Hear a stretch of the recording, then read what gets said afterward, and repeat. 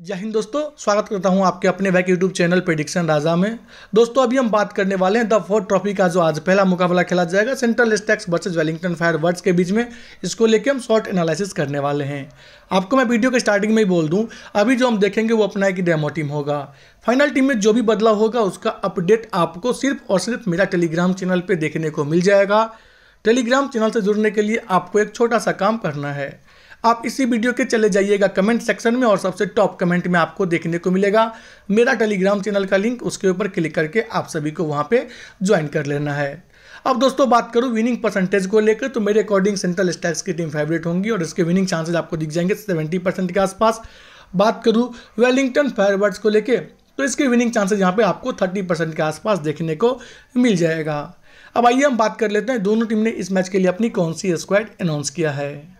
तो वेलिंगटन को लेकर बात कर लेंगे तो वहाँ से आपको दिखेंगे Tom Blundell Luke Georgeson, L Johns Troy Johnson, Nick Kelly and McPhee Wally Newton Rachin Ravindra Tim Robinson Michael Snedden, Logan van Beek और पीटर यंग हसबैंड बात करूँ सामने वाले टीम को लेकर तो आपको सेंट्रल स्टैक्स दिखेंगे। यहाँ पे जो स्क्वाड अनाउंस किया उसमें विल यंग कैप्टनसी कर रहे हैं Doug Bracewell Tom Bruce J Clarkson D Cleaver उसके अलावा Jayden Lennox Ajaz Patel Seth Rance Brett Randall Brad Schmulian Ross Taylor और ब्लेयर टिकनर अब आइए दोस्तों, हम बात करते हैं, दोनों टीम ने जो पहला मैच खेला तो वहाँ पर दोनों टीम का प्रदर्शन कैसा रहा था?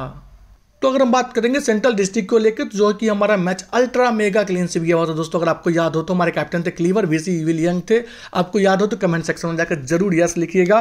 बात करें गेंदबाजी में, सात रन डाले थे, आठ ओवर, एक मैडन, तेईस रन, दो विकेट। रेंडल डाले थे, नौ ओवर, चार गेंद, तैंतीस रन, तीन विकेट। ब्रेसवेल, जो कि सबका कैप्टन थे, हमने उनको एज ए प्लेयर लिया हुआ था। बाकी पाँचों मेरे पास गेंदबाज थे।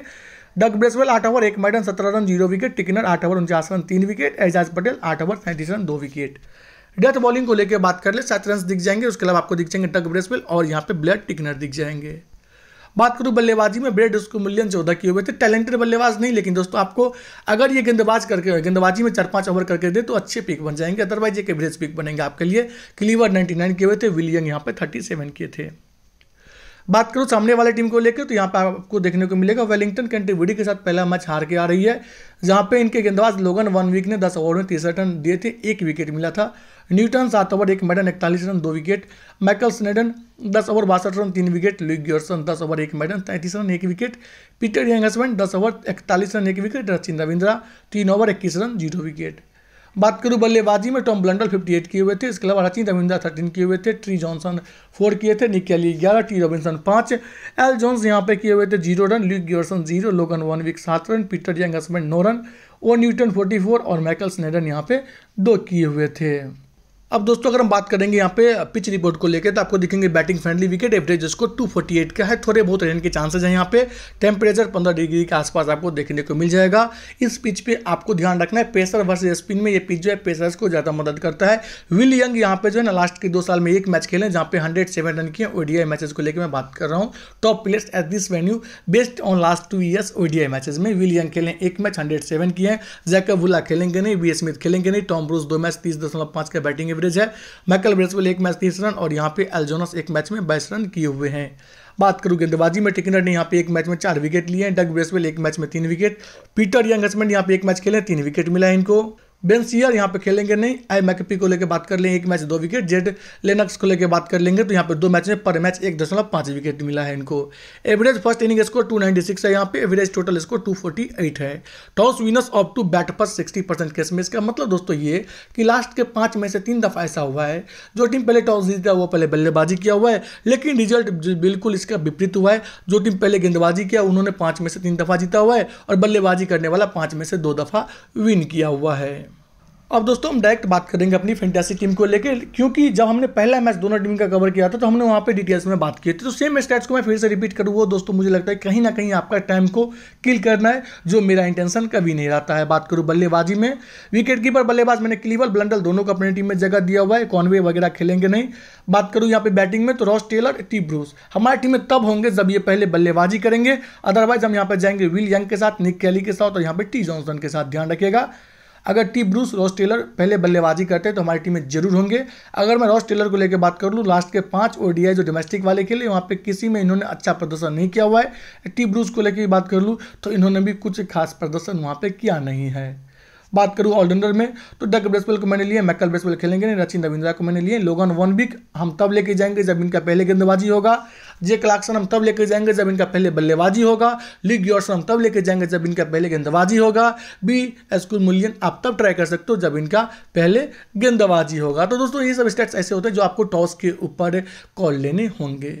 बात करूँ बॉलिंग में तो एजाज पटेल को हम लेंगे, मिलने खेलेंगे नहीं। न्यूटन को हमने फ़िलहाल के लिए जगह नहीं दिया हुआ है। मैंने यहाँ पे टिकनर को जगह दिया है सैतरंस को जगह दिया हुआ है, और ब्रेट लेंडल को जगह दिया हुआ है। अब ध्यान से सुनिएगा मेरे एक बात को। अगर यहाँ से वेलिंगटन फायरबर्ड्स पहले गेंदबाजी करता है तो मैं यहाँ पे निक कैली टी जॉनसन को ड्रॉप कर दूँगा, और मैं यहाँ पे गेंदबाजी में जो है वो ब्रेट रेंडल और एजाज पटेल को ड्रॉप करूँगा। चार प्लेयर को मैं ड्रॉप करके यहाँ पे न्यूटन और लोगन वन वीक को लेकर जाऊँगा और यहाँ से दोस्तों मैं अपने टीम में जगह दे दूँगा रोस टेलर और टॉम ब्रूस को। ये कुछ चेंजेस आफ्टर टॉस मेरे टीम में आपको देखने को मिल सकते हैं। और ये दोस्तों श्योर शॉर्ट है कि आफ्टर टॉस अगर ऐसा कुछ होता है तो मैं ज़रूर ये बदलाव अपने फाइनल टीम में करूँगा। फ़िलहाल के लिए हम यहाँ पर जो है अपने टीम में टी जॉनसन और निक कैली को लेकर चलते हैं। बात करूँ फाइनल टीम प्रीव्यू को लेकर तो मैंने विकेट के पीछे D Cleaver T Blundell batting में बात करूँ Will Young T Johnson Nick Kelly allrounder से Doug Bracewell Rachin Ravindra bowling से सेतरेंस रेंडल एजाज पटेल और बिलेट टिकनर को मैंने जगह दिया हुआ है। बात करूँ कैप्टन वीसी को लेकर तो मैं आपको पाँच प्लेयर मेंशन कर रहा हूँ, उसमें से आपको किसी भी दो को कैप्टन वीसी देके चले जाना है। पहला Will Young Dick Cleaver Blundell Doug Bracewell और डचिन रविंद्रा इन पाँचों के अलावा, अगर आप इस पिच के अनुसार जाओगे तो टिकनर भी आपके लिए ठीक ठाक कैप्टन बीसी के पिक बन जाएँगे। मैंने फ़िलहाल के लिए अपनी स्मॉल लीग की टीम में कैप्टनसी दिया है डी क्लीवर को बीसी दिया है विलियम को। लेकिन दोस्तों, अगर इनका पहले बल्लेबाजी आता है तो शायद मैं कैप्टन बीसी इन दोनों को दे के चले जाऊँ। तो आफ्टर टॉस जो भी बदलाव होगा, वो मैं आपको टेलीग्राम पर अपडेट कर दूँगा। टेलीग्राम पे ज्वाइन होने के लिए आपको पता ही है क्या करना होगा। इसी वीडियो के चले जाने हैं कमेंट सेक्शन में और सबसे टॉप कमेंट में आपको देखने को मिलेगा। मेरा टेलीग्राम चैनल का लिंक उसके ऊपर क्लिक करके आप सभी को वहाँ पे ज्वाइन कर लेना है। उम्मीद करता हूँ ये छोटा सा वीडियो आप लोगों को अच्छा लगा होगा। अगर दोस्तों वीडियो अच्छा लगा हो तो वीडियो को लाइक और चैनल को सब्सक्राइब ज़रूर कर दीजिएगा। मिलते हैं नेक्स्ट वीडियो में। तब तक के लिए बाय इंजॉय कीजिए अच्छा खासा विन कीजिए। और इन सब मैच में दोस्तों ज़रूर कैप्टन बीसी रोटेट करके जीएल मिनी जीएल ज़्यादा से ज़्यादा ट्राई कीजिए।